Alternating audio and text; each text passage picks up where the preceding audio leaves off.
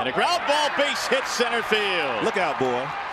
Avila with another RBI, a clutch knock here in the eighth inning to give the Tigers an insurance run, seven to three, scoring Raburn. Jhonny Peralta ought to get half of that RBI. Very true. Real patient at bat. He finally got something he could handle. He didn't try to do a whole lot with it. With the infield in, most ground balls are going to get through. 7 3, 5 RBI night.